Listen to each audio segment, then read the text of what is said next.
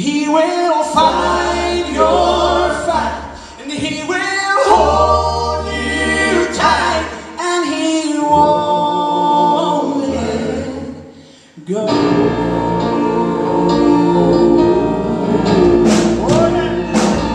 I will stand by you.